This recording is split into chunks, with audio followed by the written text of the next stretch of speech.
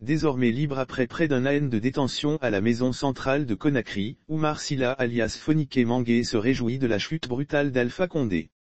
Le responsable de la mobilisation du Front National pour la défense de la Constitution déclare avoir toujours conseillé à l'ex numéro 1 guinéen de renoncer à son projet de troisième mandat.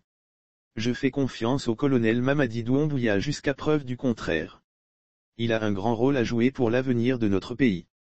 Je veux qu'il soit le Jerry Ravling de la Guinée.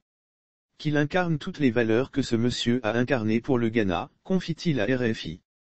Sur les questions concernant la durée de la transition et de la participation ou non du FNDC au gouvernement d'union nationale, Fonike Mangué se veut prudent et laisse le soin à la coordination nationale du mouvement anti-troisième mandat de décider.